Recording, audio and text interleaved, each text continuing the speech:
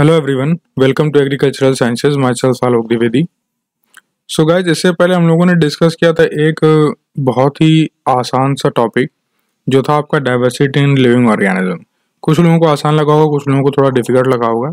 Depend करता है कौन कितना समझ पाया। सो so, यहाँ पर हमने डिस्कस किया था कि जो क्लासिफिकेशन का बेस है वो क्या है? किस बेस पर क्लासिफिकेशन किया जा रहा है?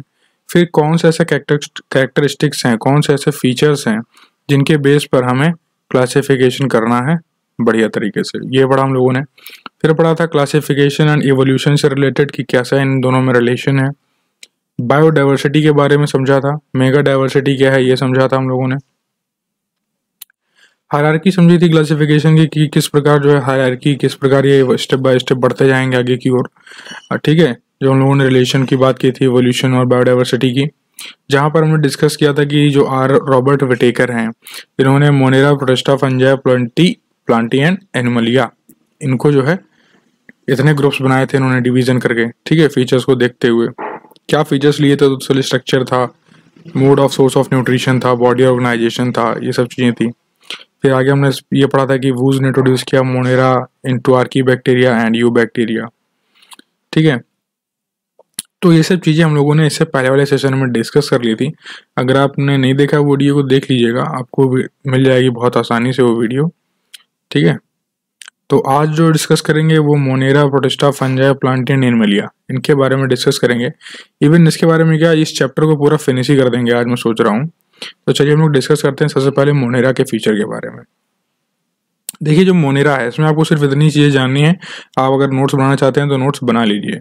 मोनेरा में क्या है कि Monera organism do not have defined nucleus और ऑर्गेनल्स यानी कि जो आपके मोनेरा होते हैं, इनमें डिफाइंड न्यूक्लियस और ऑर्गेनल्स नहीं होते हैं। पहला पॉइंट आप इसको नोट डाउन कर सकते हैं। Second no multi body design यानी इनके अंदर कोई मल्टी बॉडी डिज़ाइन नहीं होता है। यानी कि सिंगली सेल्ड मिलेंगे आपको ये। इधर ऑटोट्रॉफिक और हेट्रोट्रॉफिक या तो ये स्वयं खाना बना लेंगे या तो फिर किसी अगले बंदे पर डिपेंड करेंगे, जैसे आप हेट्रोट्रॉफिक मोड ऑफ़ न्यूट्रिशन बोलते हो। Some some organisms have cell walls while some not यानी किसी के पास कुछ ऑर्गेनिजम्स ऐसे पाए जाएँगे मोनेरा के अंदर जिनके पास सेल वॉल्स पाई जाएँगी, और कुछ ऑर्गेनिज्म ऐसे होंगे जिनके पास सेल वॉल एबसेंट होगी। तो आई होप आपको ये पॉइंट क्लियर है मोनेरा के अंदर। नेक्स्ट चलें तो प्रोटिस्टा के बारे में पढ़ते हैं। तो पोटिस्टा के अंदर आपको मिलता है यूनिसेलुलर यूकैरियोटिक ऑर्गेनिज्म क्या मिलता है? यूनिसेलुलर यानी कि एक कोशीय यूकैरियोटिक ऑर्गेनिज्म मिलता है। फॉर लोकोमोशन यानी कि अगर यूनिसेलुलर है तो इसके अंदर ये लोकोमोशन भी करता है। यानी कि जो पोटिस्टा के अंदर जो ऑर्गेनिजम्स आएँगे यूकैरियोटिक वो लोकोमोशन भी शो करेंगे। और वो जो लोकोमोशन होगा with the help of cilia और वेप होगा। ये किस तरह का स्ट्रक्चर होता है? यानी कि जैसे फ्लैजिला होता है जो, उसी को आप बोलते हो सीलियो और वेप वेब ठीक है हेयर लाइक स्ट्रक्चर होते हैं ये। और इन्हीं के थ्रू क्या करता है, ये लोकोमोशन कर पाता है यूकैरियोटिक ऑर्गेनिज्म अगर पूछा जाए इनका न्यूट्रिशन का मोड क्या है तो ऑटोट्रॉफिक या ऑटोट्रॉफिक दोनों में से कुछ भी हो सकता है। एग्ज़ाम्पल है इनके जैसे कि यूनिसेलुलर एल्गी हो गया डायटम्स एंड प्रोटोजवान्स हो गए। इनके आप जो है क्या करेंगे मैंने आपको टेलीग्राम ग्रुप में ज्वाइन कर रखा है। यदि आप ज्वाइन नहीं है तो टेलीग्राम ग्रुप का आपको मिल जाएगा नीचे लिंक उस पर जान जाएगा और इनकी फ़ोटोज़ सेंड करिएगा। इनके फ़ोटोज़ के ऊपर नाम लिखिएगा और सेंड करिएगा कि इनकी पिक्चर्स टेलीग्राम पर। तो इससे क्या होगा कि आपको भी पता चलेगा कि बेसिकली ये चीज़ें हैं क्या और आपके पास एक थोड़ा सा सिंसियरिटी आ जाएगी। दूसरी बात जब हम लोग चलते हैं फंजाई के ऊपर, देखिए हम लोगों ने मोनेरा पढ़ लिया प्रोटेस्टा पढ़ लिया, ठीक है? इनको आप नोट डाउन कर सकते हैं, यदि आपको दोबारा सुनना है तो दोबारा सुन लीजिएगा, ये चीज़ें आपको क्लियर होती जाएँगी। नेक्स्ट चलें तो फंजाई के बारे में तो फंजाई कैसा होता है? हेट्रोट्रॉफिक यूकैरियोटिक ऑर्गेनिज्म है, कैसा है? हेट्रोट्रॉफिक यूकैरियोटिक ऑर्गेनिज्म है। न्यूट्रिशन अगर पूछा जाए फंजाई का तो सेप्रोफेटिक होते हैं, क्योंकि ये डेड और जो डिकेइंग ऑर्गेनिक मटेरियल्स होते हैं, उसको एज अ फ़ूड ये कंज्यूम करते हैं। नेक्स्ट चलें तो लाइकेंस के बारे में। तो some fungi live in the symbiotic relationship with cyanobacteria और जो ऐसे फंजाई जो सिम्बायोटिक रिलेशनशिप बनाकर रखते हैं साइनोबैक्टीरिया के साथ, उन्हीं को हम लाइकेंस बोलते हैं। तो लाइकेंस कुछ नहीं है basically they are fungi but ऐसे फंजाई जो सिम्बायोटिक रिलेशनशिप में रहते हैं, उन्हीं को आप बोलते हो लाइकेंस इनका जो एल्गल पार्ट होता है, वो क्या करता है प्रोवाइड फ़ूड करता है, यानी कि फ़ूड को प्रोवाइड करता है, और जो फंगल पार्ट है that provides minerals and substrate तो ये जो आपका फंगल पार्ट है, वो क्या करेगा प्रोवाइड ये मिनरल्स एंड सबस्ट्रेटम को प्रोवाइड करता है एंड जो एल्गल पार्ट है तो दैट इज़ फॉर फ़ूड तो आई होप ये पॉइंट आपको क्लियर होने चाहिए। नेक्स्ट आपका प्लांटी तो प्लांटी क्या है? प्लांट है तो इसके अंदर प्लांट तो होंगे ही, यानी कि प्लांट है तो नंबर ऑफ़ सेल्स ज़्यादा होंगी। तो मल्टी सेलुलर यूकैरियोट्स है सेल वॉल्स भी होती हैं इसमें। न्यूट्रिशन देखें तो ऑटोट्रॉप्स होगा, क्योंकि क्लोरोफिल इसके अंदर प्रेजेंट होता है और फोटोसिंथेसिस के थ्रू ये खुद अपना फ़ूड प्रिपेयर करते हैं। कौन? प्लांट्स तो अब आपको ये चीज़ क्लियर है। एनिमिलिया में चले तो ये भी मल्टी सेलुलर यूकैरियोट्स होंगी क्योंकि इनके पास भी सेल्स होती हैं। और न्यूट्रिशन देखा जाए तो बेसिकली हेट्रोट्रॉप्स होता है इनके अंदर। तो आई होप आपको इतनी सारी चीज़ें क्लियर हैं, जिनके बारे में अभी हम लोगों ने पढ़ लिया है। ठीक है, यही फाइव क्लासिफिकेशन किए थे विरेटेकर ने। Monera Protista Fungi Plantae Animalia ठीक है? अब देखिए, जो किंगडम प्लांट ही है आपका, इसके अंदर इनको फर्दर और क्लासिफाई किया गया है प्लांट किंगडम को। कैसे किया गया है? तो थैलोफाइटा ब्रायोफाइटा फिर ब्रायोफाइटा से इधर टेरेडोफाइटा फिर टेरेडोफाइटा जिम्नोस्पम और एंजियोस्पम है। तो सबसे पहले डिस्कस करते हैं थैलोफाइटा के बारे में, जिसे आप एल्गी भी कहते हो। तो plants that do not have a well differentiated body design fall in this group यानी कि जिनके पास वेल डिफरेंशिएटेड बॉडी डिज़ाइन नहीं है, यानी कि ऐसे प्लांट्स जिनको आप ये नहीं बता सकते हो कि इनकी रूट्स कहाँ हैं, इनकी स्टेम कैसी हैं। ठीक है? वेल डिफरेंशिएटेड नहीं है। तो उन्हीं को आप जो है, इस ग्रुप में रखते हो किसमें थैलोफाइटा और एलगी में। अब एलगी का क्या है? रूट्स कहाँ है? स्टेम कहाँ है? और बर्ड कहाँ है? आप बता थोड़ी सकते हो। बहुत ही अनडिफरेंशिएटेड होता है। बहुत ही इनकॉन्स्पिशियस होता है। यानी कि अप्रत्यक्ष होता है है ना? तो इनकॉन्स्पिकस है तो इसका मतलब आप इसको क्लियरली नहीं जज कर सकते हो तो थैलोफाइटा के अंदर रखोगे आप ऐसे प्लांट्स को। The plants in this group are commonly called algae तो ऐसे प्लांट्स जो इस ग्रुप में होंगे, उन्हीं को आप एल्गी बोलोगे।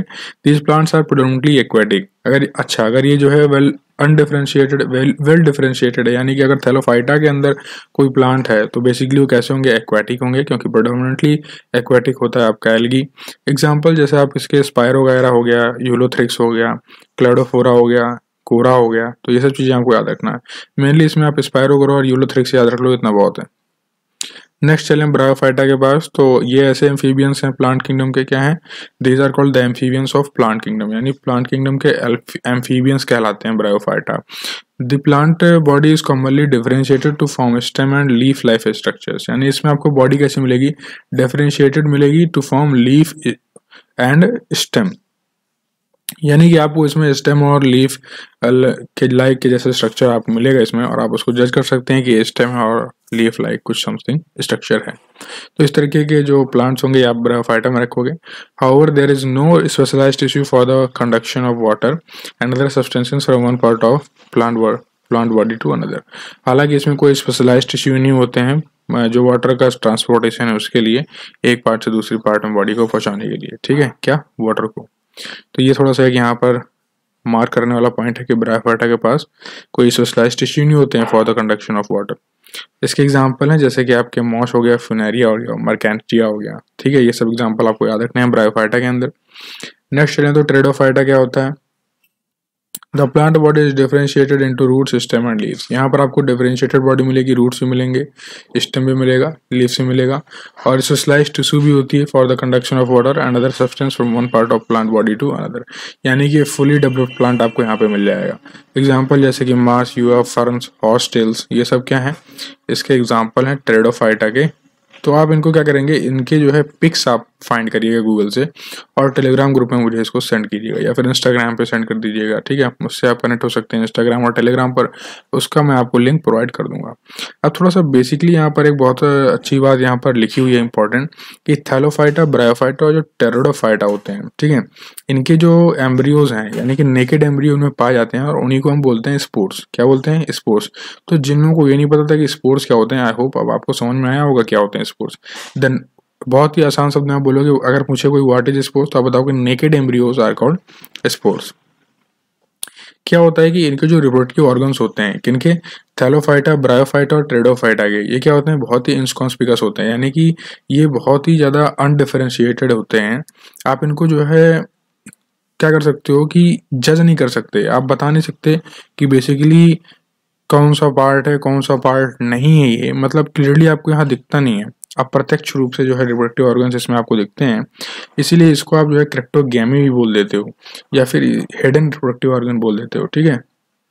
और वहीं अगर हम लोग बात करें डिफ्रेंशिएटेड रिप्रोडक्टिव डिसीज की तो इनमें जो है सीड्स होते हैं, और जिनमें सीड्स होते हैं, इन्हीं को हम फेनरोजेम्स बोलते हैं। तो अगर पूछा जाएगा व्हाट आर फेनरोजेम्स तो आप बताओगे कि uh, the plants with well differentiated reproductive tissue that ultimately make seeds are called phanerogams और जो सीड्स हैं यही एक पूछा जाए किसका एग्जांपल या कौन सा फीचर्स शो करती हैं तो are the result of reproductive process किसका रिज़ल्ट होती है? रिप्रोडक्टिव प्रोसेस का रिज़ल्ट होते हैं सीड इनके अंदर एम्ब्रियो होता है जिनके जिसमें आपको स्टोर्ड फ़ूड मिल जाएगा।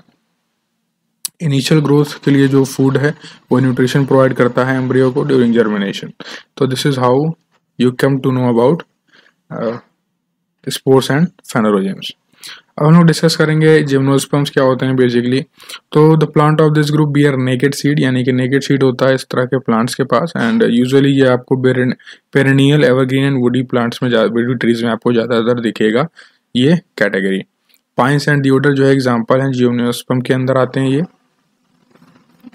ठीक है? नेक्स्ट चलें तो angiosperm the word is made from two Greek word angio means covered and sperma means seed यानी कि जिनके अंदर आपको कवर्ड सीड मिलेगा they are under the angiosperm उन्हीं को आप बोलोगे एनजियोस्पम प्लांट्स हैं वो। और ऐसे ये जो सीड्स हैं डेवलप करते हैं in an organ which is modified to become fruit यानी कि जो आपका सीड है, वो एक ऑर्गन के अंदर डेवलप होता है और जो फर्दर वो जो ऑर्गन है, वो डेवलप हो जाता है क्या? फ्रूट में। ठीक है? तो फ्रूट के अंदर आपको सीड मिल जाता है।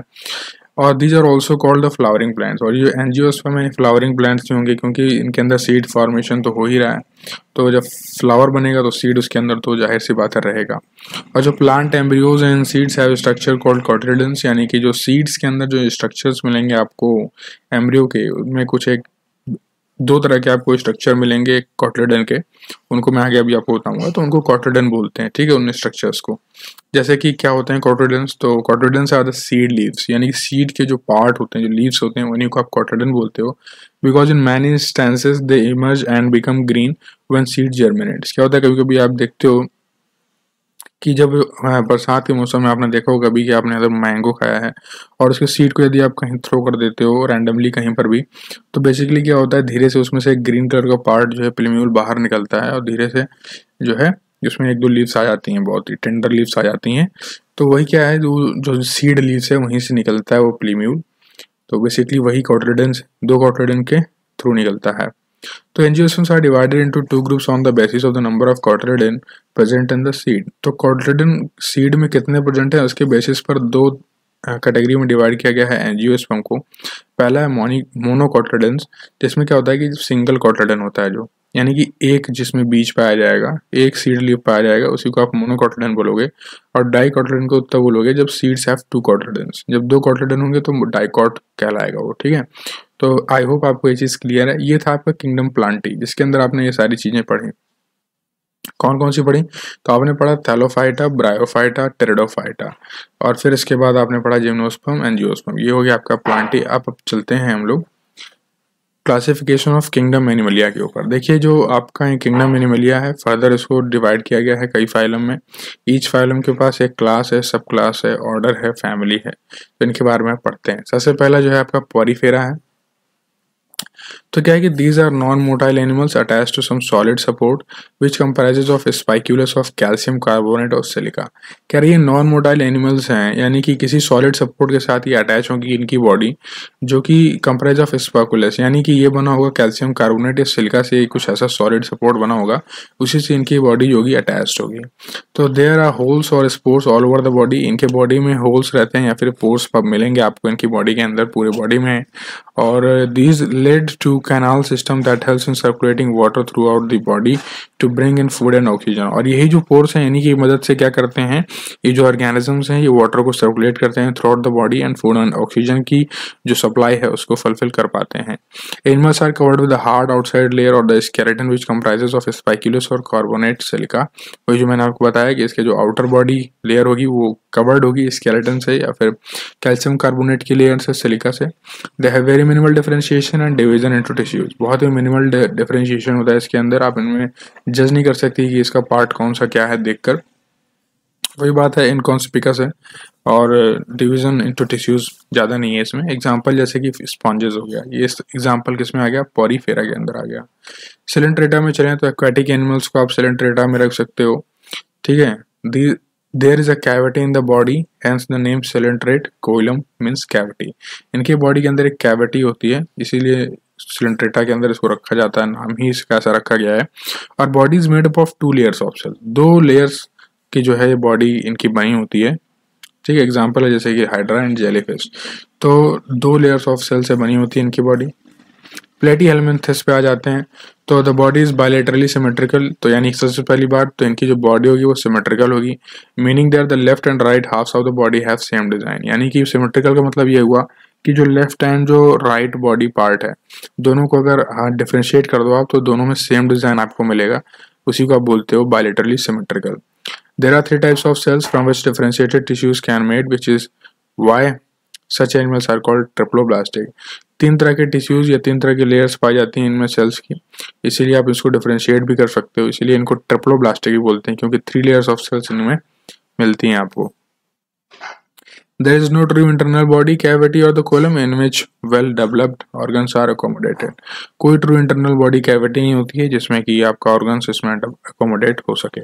ठीक है?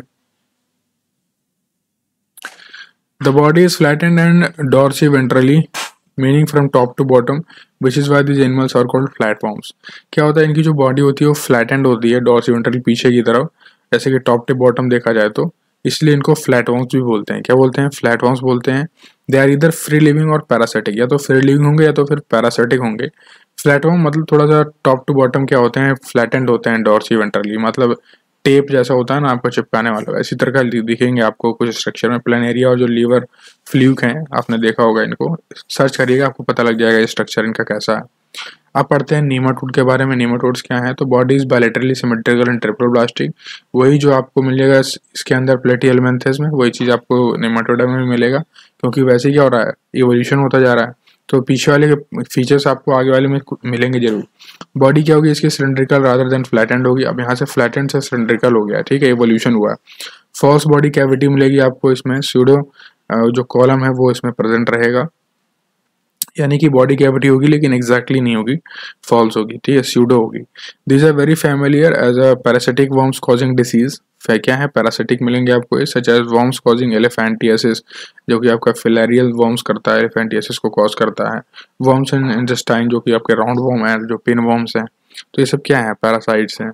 एग्ज़ाम्पल हैं कि जैसे स्कैरिस और वोसेरिया ठीक है? किसके एग्ज़ाम्पल है? नेमाटोड के। नेक्स्ट चलें तो एनालिडा ये भी क्या होंगे? बायोलिटरली सिमेट्रिकल हैं टेप्रोब्लास्टिक हैं बॉडी कैविटी इनके अंदर प्रेजेंट होगी अब। बॉडी इनकी जो है रिंग लाइक सेगमेंट्स में डिवाइडेड होगी, इसीलिए आप इसको एनालिडा बोलते हो। अर्थफॉर्म्स और लीक इसके एग्ज़ाम्पल हो जाएँगे। ऑर्थोपोडा में चले तो लार्जेस्ट ग्रुप ऑफ़ एनिमल्स में आते हैं आपके ऑर्थोपोडा इनकी बॉडी जो है बायोलिटरली सिमेट्रिकल होगी सेगमेंटेड होगी। ओपन सर्कुलेटरी सिस्टम होगा so the blood does not flow in the well defined blood cells so open circulatory system है, इसलिए ब्लड जो है वो इतना वेल डिफाइंड तरीके से फ्लो नहीं करता है ब्लड वेसल्स में और they have jointed legs word arthropod means jointed legs और इनके पास कहते हैं ज्वाइंटेड लेग्स होते हैं इनकी, इसीलिए आप इसको आर्थोपोडा में रखते हो। एग्ज़ाम्पल जैसे कि आंट्स हो गया कॉकरोच हो गया ग्रास ओपर हो गया स्कॉर्पियंस हो गया। तो ये सब ऑर्थोपोडा में आप इनको रख सकते हो। मोलस्का के पढ़ते हैं तो क्या है?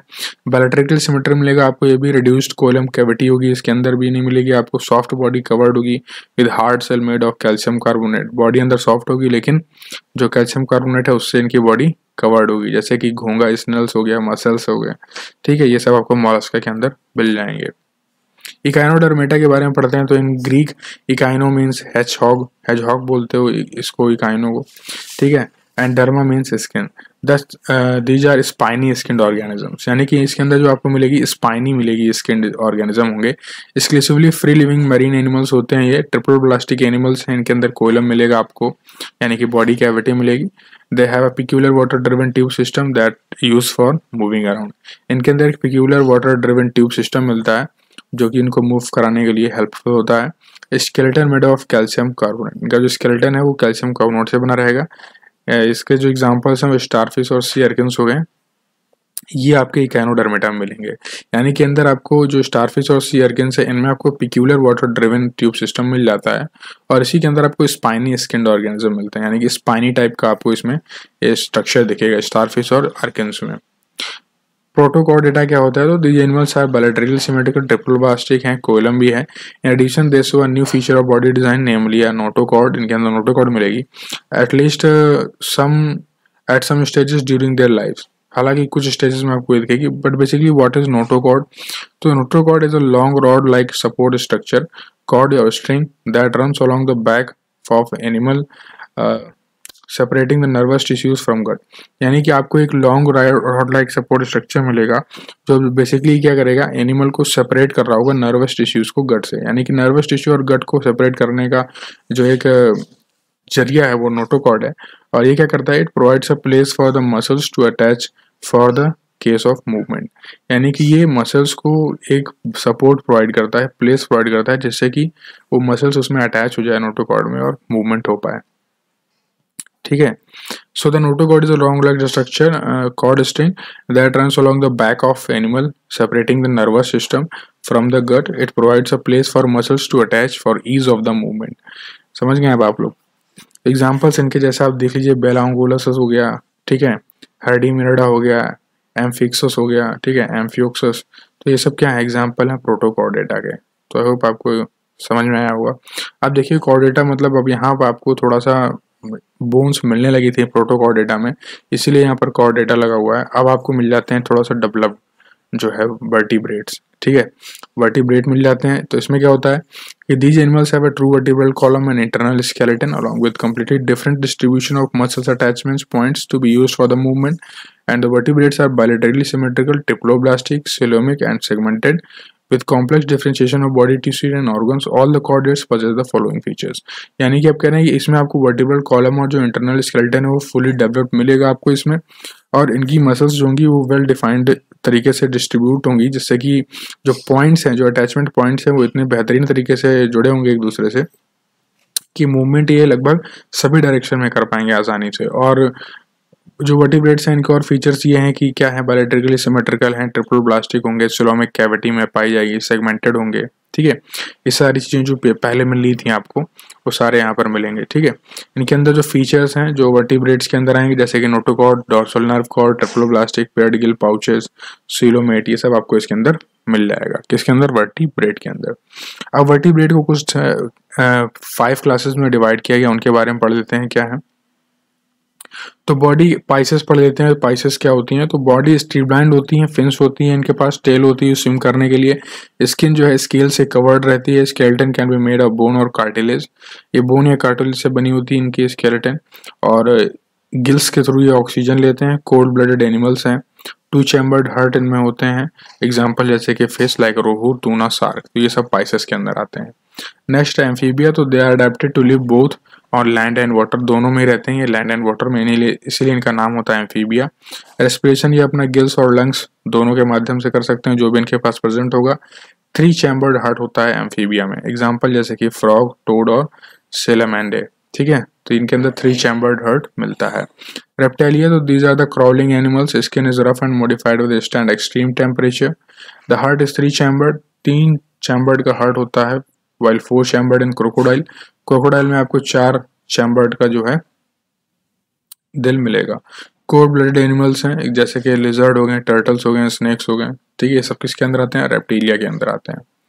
एज क्या होते हैं तो body covered with the feathers and forelimbs are modified for flying यानी कि फीदर्स और फोरलिम्स आपको मिल जाएँगे इनकी बॉडी में, जो कि फ्लाइंग के लिए मॉडिफाइड होते हैं, बने होते हैं और ब्रीथिंग थ्रू लंग्स वॉर्म्स जो वॉर्म ब्लड एनिमल्स कहलाएँगे ये आपके एम्स और फोर चैम्बर्ड हर्ड मिलेगा आपको, जैसे कि स्पैरो ईगल क्रो पैरट ये सब आपके एग्ज़ाम्पल मिलाएँगे एप्स में.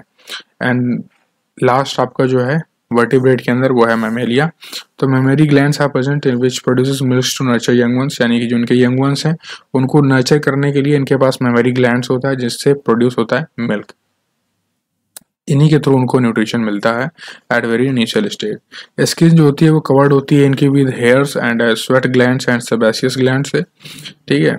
वॉर्म ब्लड एनिमल्स हैं फोर चैम्बर्ड हार्ट आपको मिलेगा इसमें। Most animals are viviparous यानी कि जो यंगवंस को बर्थ दे सकते हैं।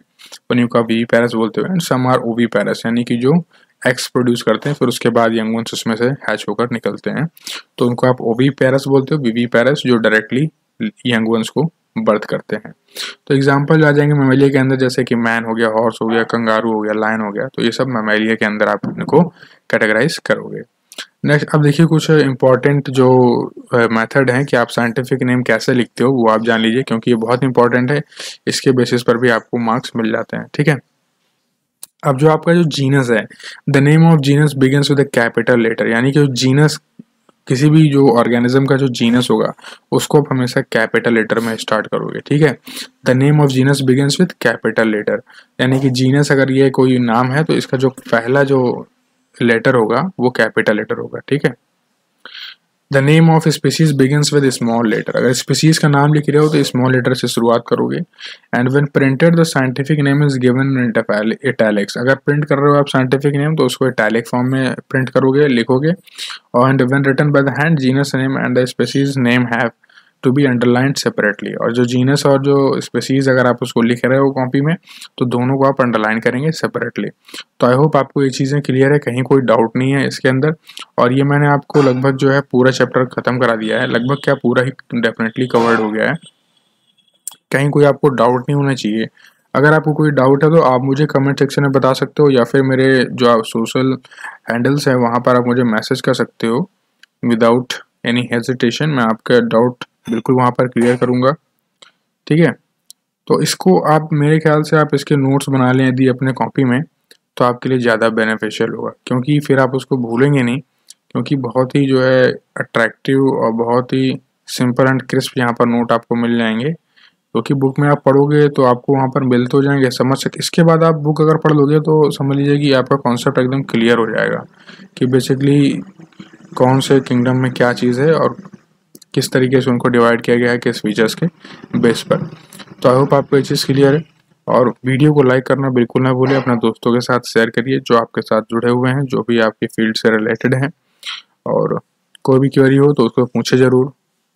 थैंक यू गाइज़ जय हिंद जय भारत